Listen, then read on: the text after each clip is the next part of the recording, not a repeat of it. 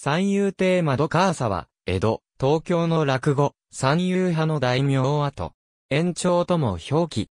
初代、三遊亭窓川町明治33年8月11日は、幕末明治に活躍した落語家。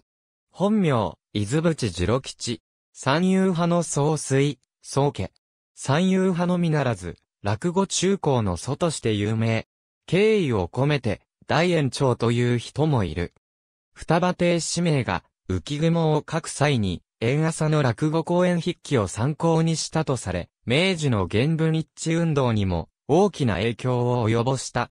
三遊亭窓か朝三遊亭窓か町縄文、高崎線落語家であり、歴代の名人の中でも筆頭にうまいとされる。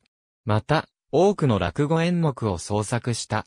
お笑いの分野である滑稽話より、人情話や怪談話など、笑いのない、真面目な、いわば講談に近い分野で、独自の世界を築く。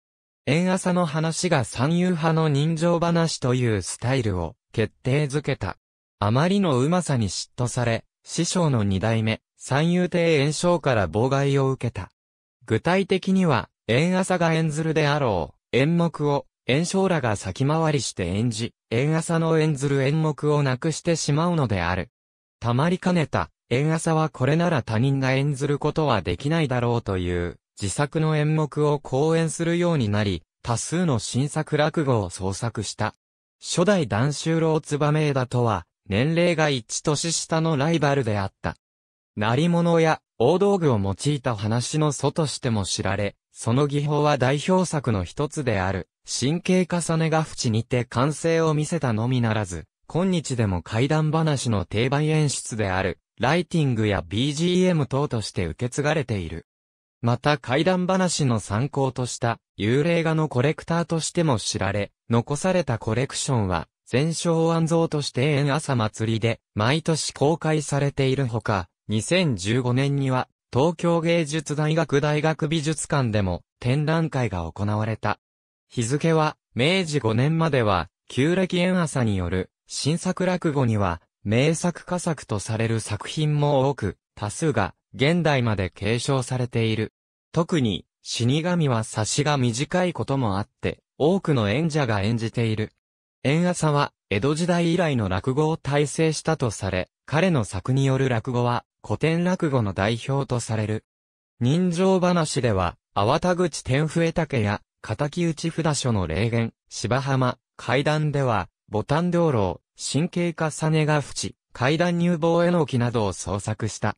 また、海外文学作品の本案には、死神、名人帳に、錦の舞絹、発表、1891年。原作、ビクトリアン・サルドゥ、トスカ。後に、プッチーニにより1900年にオペラ化されるトスカの原作がある。祈願としては、カジカザワなどもあり、非常にレパートリーが広い。園長祭りと称するイベントが毎年開かれている。それぞれ、縁朝祭りと縁朝祭りであるが、両者は無関係である。ホール落語の興行である。有楽町で開催される、縁朝の墓所である、谷中、全昭庵で開催される、落語会。初代、三遊亭窓川朝は、三遊派の中高の祖である。そのため三遊派の宗家と言われる。縁朝の名跡は1900年以降、藤浦家が預かる名跡となっている。この名跡が、藤浦家のものになったのは、先々代の当主である、藤浦修吉が、縁朝の名跡を借金の担保にして、縁朝を経済的に支援した縁によるもの。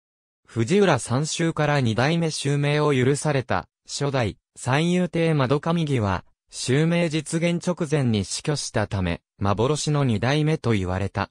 その後、藤浦家はこの名を、どの落語家にも名乗らせていない。現藤浦家当主は、映画監督、藤浦厚である。藤浦厚は、1996年に出した辞書、三遊亭延長の遺言で、春風亭小朝と対談し、あなたがこれからの落語界のリーダーになりなさいよ、と小朝に勧めていた。小朝の元妻、安葉は、週刊文春2008年5月22日号で、藤浦から小朝に縁朝襲名の話が実際にあったが、小朝本人がそれを誇示したと公表した。ありがとうございます。